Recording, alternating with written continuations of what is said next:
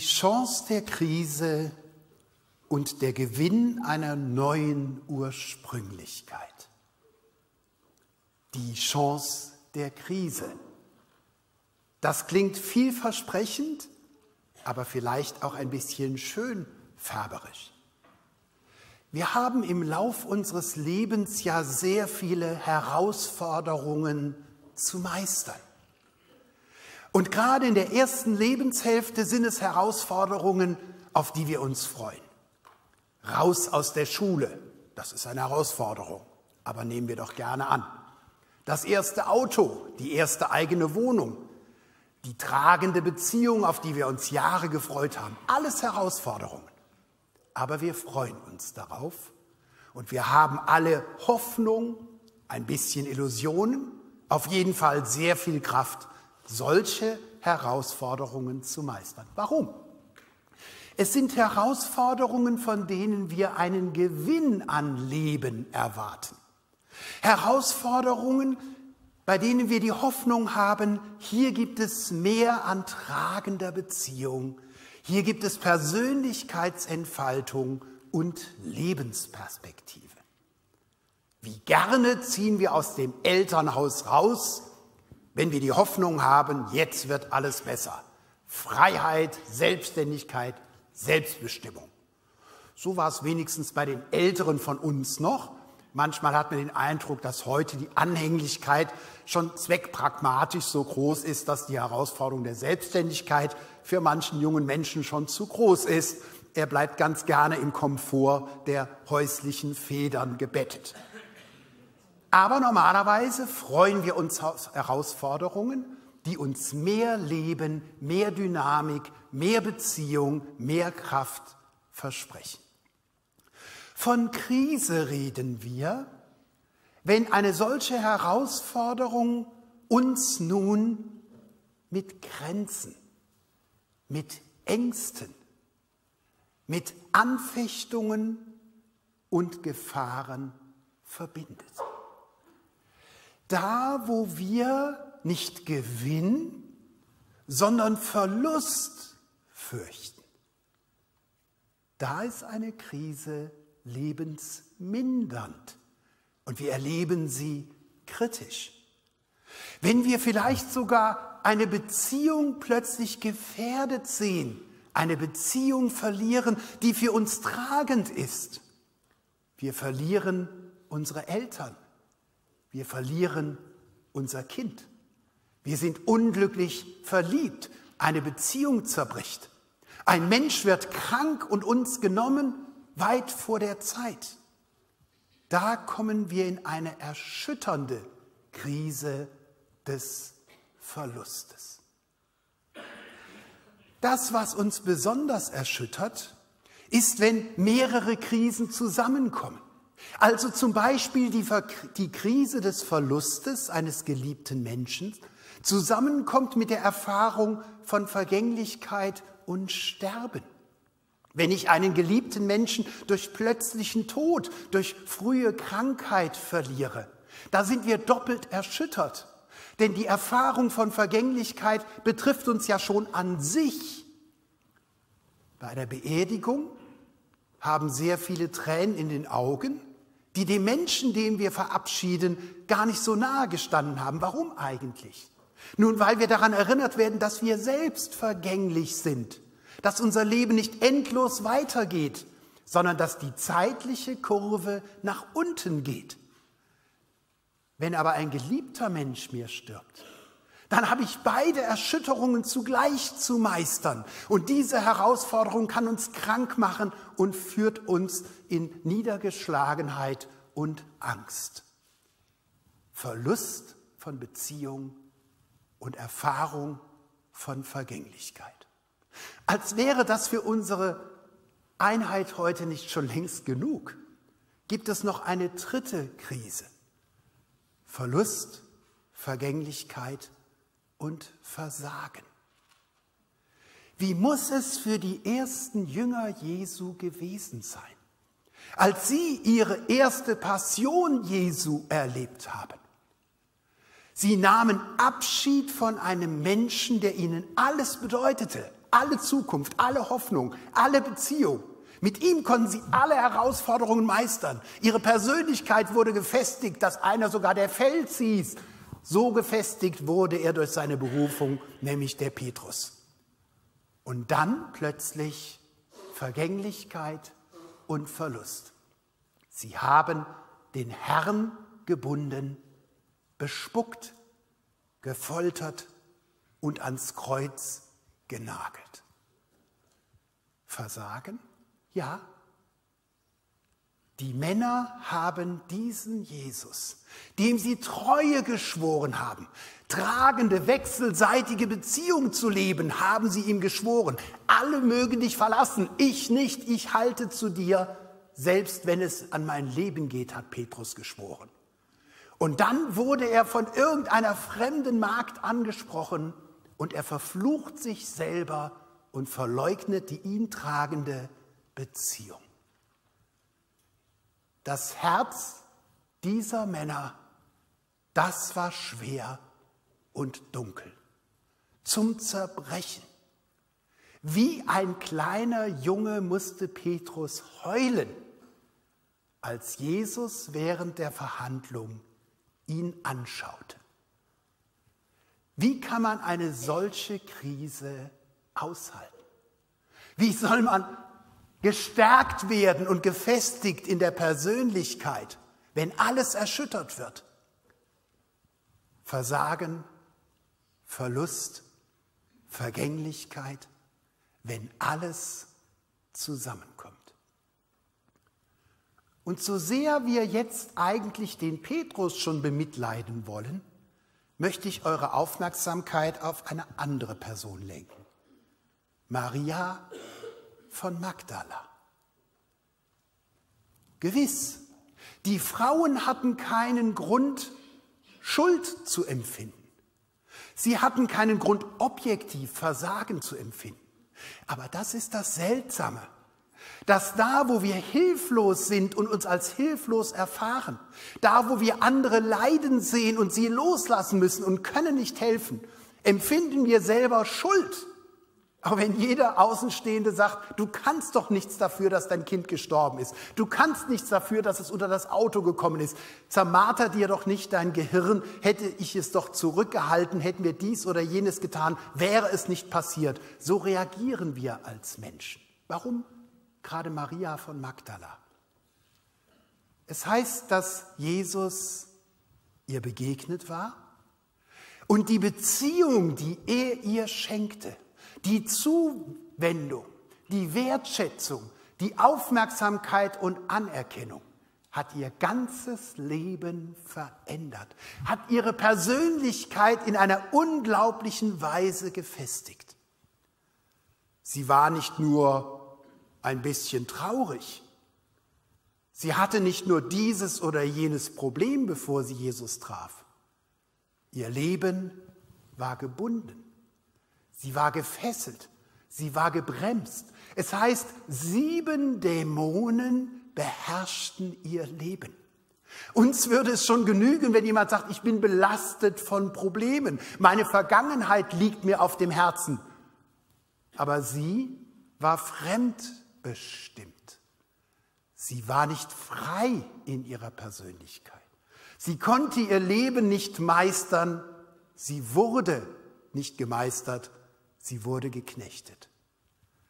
Und in der Beziehung zu Jesus konnte sie erfahren, dass sie heil wurde, erlöst von allen Lasten was keiner ihrer Umgebung für möglich hielt, was sie selbst schon lange nicht mehr zu hoffen wagte, durfte sie erleben. Die Beziehung machte sie frei. Ihr Herr hat sie erlöst von Vergangenheit, von Last, von Krankheit, von all dem, was ihr Leben band. Was muss es für Maria bedeutet haben, als sie sah, dass dieser geliebte Herr, der für sie nicht etwas war, sondern alles, nicht jemand, sondern der eine, vor ihren Augen gebunden, gefoltert und gekreuzigt wurde. Gewiss, auch die Männer waren erschüttert. Bei ihnen kam ja noch der Aspekt der Schuld dazu, ihr schlechtes Gewissen. Und dennoch haben wir gehört, Johannes 20, 1 folgende, dass die Männer, als sie hörten, dass das Grab geöffnet ist, auch zum Grab gingen und nachschauten. Und die Frauen unter uns haben sich wahrscheinlich eben gefragt, was ist das denn wieder für ein typisch männliches Verhalten? Was machen Männer, wenn sie in die Krise kommen? Nun, Übersprungshandlungen und Flucht, die liefen. Und wenn Männer in der Krise sind, was machen sie? Konkurrenz ist alles. Die beiden Männer, Johannes und Petrus, laufen um die Wette zum Grab hin. Als wäre ich eine Frau, ich hätte geschmunzelt. Ich weiß nicht, ob ihr auch geschmunzelt habt als Frauen, als ihr Johannes 20, 1 folgende das erste Mal hörte. Es gibt eine tiefere Bedeutung für die Gemeinde des Johannesevangeliums, warum ihr Lieblingsjünger der Erste war, der ans Grab kam. Aber wir wollen uns ja jetzt auf Maria konzentrieren. Von den Männern heißt es, sie schauten hinein und gingen wieder heim. War das eine Möglichkeit für Maria, wieder nach Hause zu gehen? Einfach zu sagen, ja, das ist jetzt eine heftige Krise. Erst Vergänglichkeit, dann noch Verlust und jetzt kann ich mir nicht erklären, was mit dem Grab ist. Nein, Maria stand draußen vor dem Grab und weinte. Als sie nun weinte, schaute sie in das Grab und sieht zwei Engel in weißen Gewändern sitzen. Einen zu Häupten und den anderen zu den Füßen, wo sie den Leichnam Jesu hingelegt hatten. Und die sprachen zu ihr, Frau, was weinst du? Sowas darf nicht passieren. Wenn wir in einer Krise all unsere Kraft brauchen, um unser Gesicht so halbwegs zu beherrschen, wenn wir alle Kraft zusammennehmen müssen, um die Maske zu erhalten, und dann kommt einer und guckt uns so voll in die Augen und macht einen auf verständnisvoll. Mein lieber Mann, dann geht es mit uns durch. Dann können wir nicht mehr als weinen, wenn jemand unseren Punkt trifft. Und es bricht aus ihr heraus, Sie haben meinen Herrn weggenommen und ich weiß nicht, wo Sie ihn hingelegt haben. Sie haben meinen Herrn weggenommen. Was für eine Aussage. Einst hatte ich einen Mittelpunkt in meinem Leben. Einst hatte ich eine Beziehung, die mein ganzes Leben ausmachte. Einst hatte ich Zukunft, gestern gab es ein Morgen. Wie erlöst war ich. Wie wunderschön war es, in dieser Gemeinschaft mit ihm zu leben. Sie haben meinen Herrn weggenommen. Wie viele von uns sind plötzlich mitten in dieser Erzählung. Sie haben meinen Herrn weggenommen. Da hat einer Theologie studiert in der Hoffnung, nun für Christus noch mehr sich einsetzen zu können. Und sie haben ihn den Herrn weggenommen. Da hat sich einer ins Leben gestürzt, in eine Beziehung gestürzt und es ist gescheitert und plötzlich kann er nicht mehr glauben. Sie haben mir meinen Herrn weggenommen.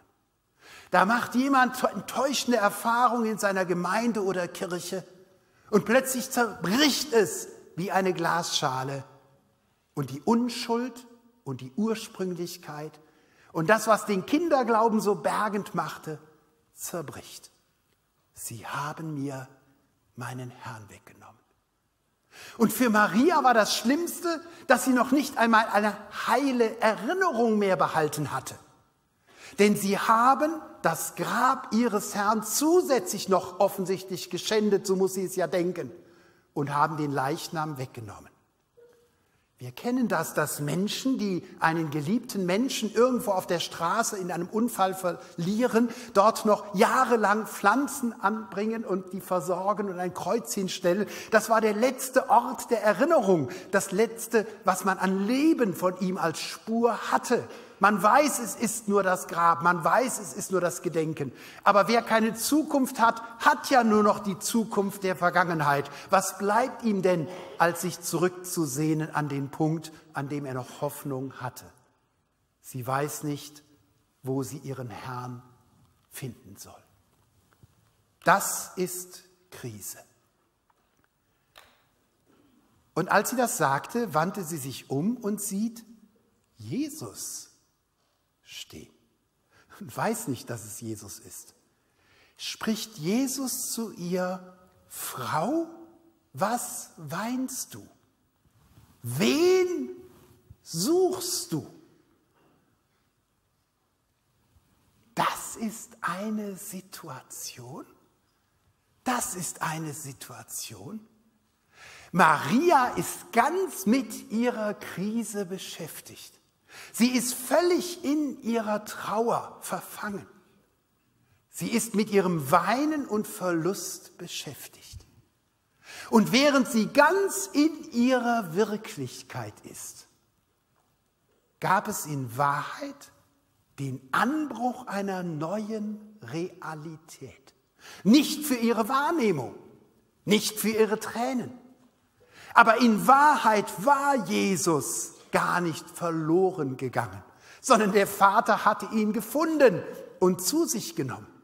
In Wahrheit war das Grab gar nicht geraubt worden, sondern Gott der Vater hat seinen Sohn in die tragende Gottesbeziehung zu sich gerufen.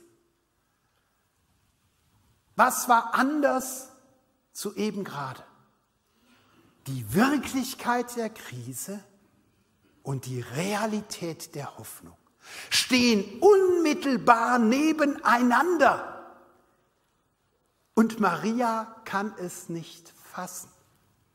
Es heißt sogar, sie sieht Jesus eben durch ihre Tränen hindurch im Augenwinkel dort stehen. Realität. Das Leben beginnt. Die Beziehung, die ihr Leben trägt, ist lebendig aber sie nimmt es nicht wahr. Haben wir uns je überlegt, wie begründet die Frage Jesu ist, wen suchst du?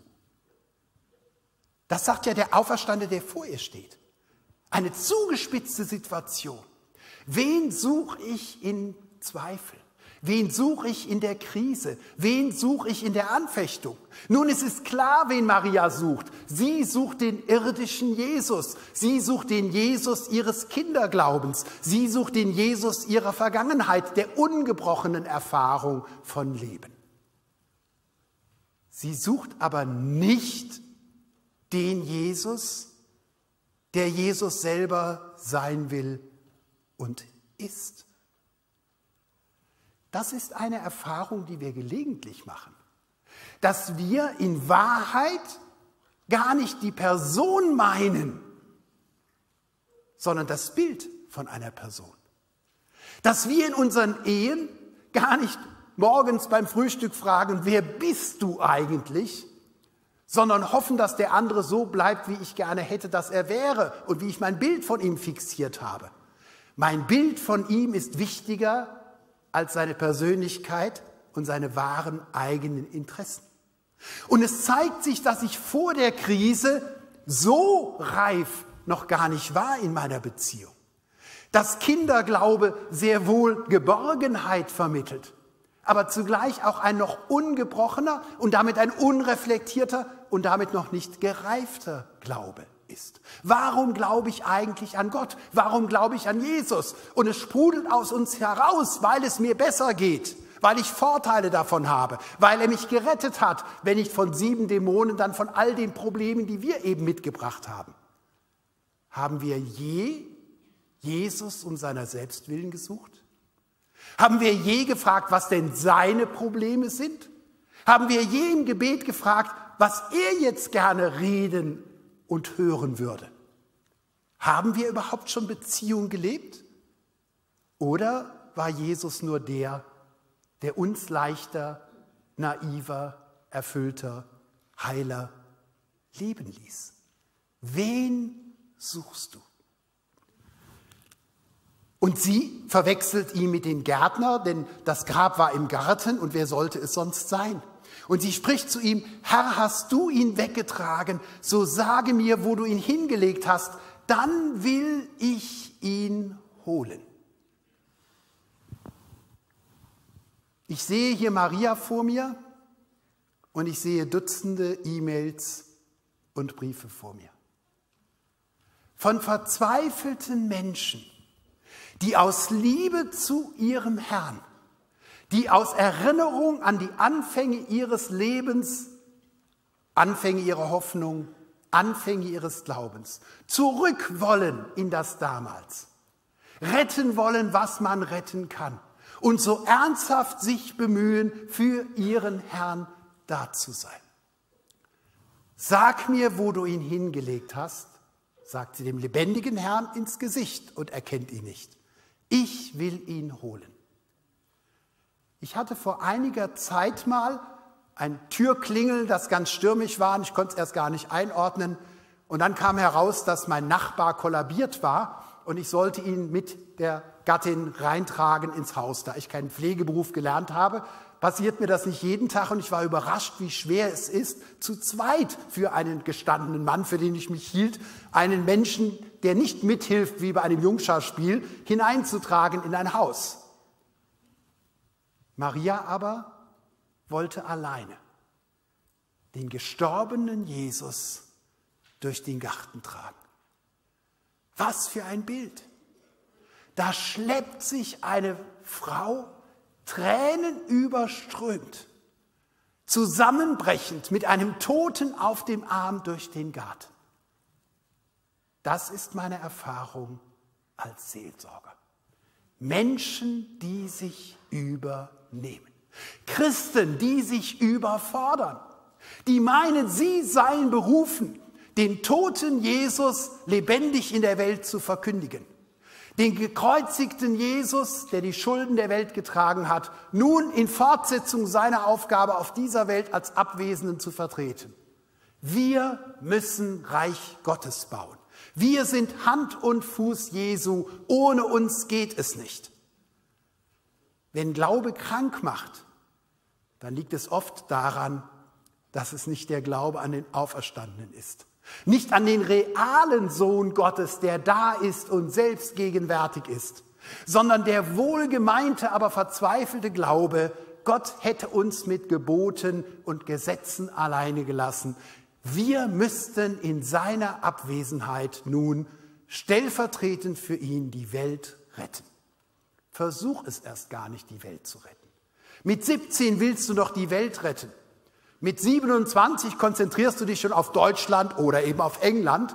Mit 37 bist du schon froh, wenn du deine Gemeinde so ein bisschen eingrenzen kannst. Mit 47 bist du schon entlastet, wenn deine Familie halbwegs auf dem Gang bleibt. Und mit 57 sagst jetzt muss ich mal aufpassen, dass ich selber auf der Spur bleibe. Wenn ich mich selber gerettet in den Himmel bringe, dann habe ich schon viel in meinem Leben geschafft. Wie viel Illusionen machen wir uns über das, was wir können sollen und müssen. Das macht uns krank. Nein, Loslassen meines Kinderglaubens bedeutet um Himmels willen nicht, werd erwachsen, rette die Welt. Es ist eine kindische Illusion, wenn ich die Welt retten will. Wenn ich meine, ich könnte in dieser Welt alles für Christus tun. Du kannst dich einen einzigen Menschen bekehren. Versuch's erst gar nicht. Das kann nur Gott selber. Er kann es durch dich, aber nur der Auferstandene kann es und nicht du.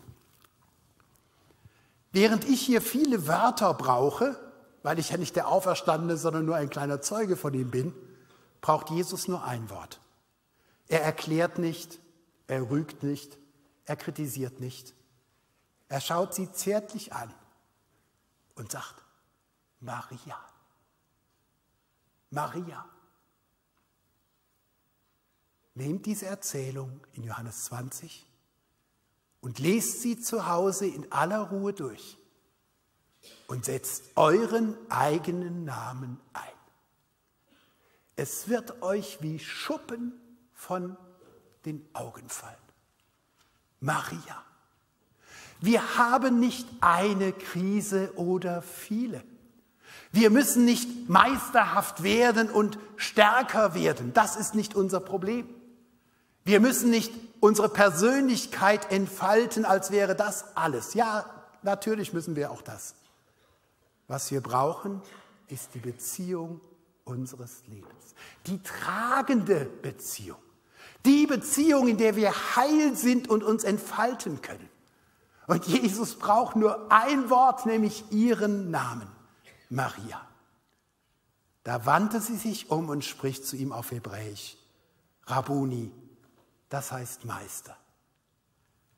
Eben noch verzweifelt, eben noch zerbrochen, eben noch am Ende aller Hoffnung. Und plötzlich durch die tragende, entscheidende Beziehung ihres Lebens, durch die Begegnung mit ihrer Liebe in Person, mit dem Leben in Person, alle Hoffnung der Welt. Spricht Jesus zu ihr, Achtung, halte mich nicht fest. Ich weiß, ihr kennt Übersetzungen, da heißt es, rühre mich nicht an.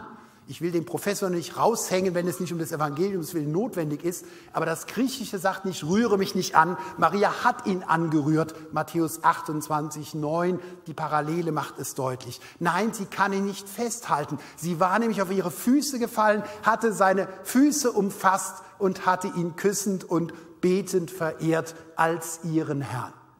Halte mich nicht fest. Schade, sagen Jetzt hat Maria die Begegnung ihres Lebens, die Hoffnung ist da, es gibt eine neue Ursprünglichkeit, die Krise scheint überwunden, jetzt muss sie schon wieder loslassen. Wie die Emmaus-Jünger, kaum haben sie ihn erkannt, da verschwand er vor ihren Augen. Das ist ein erwachsener Glaube.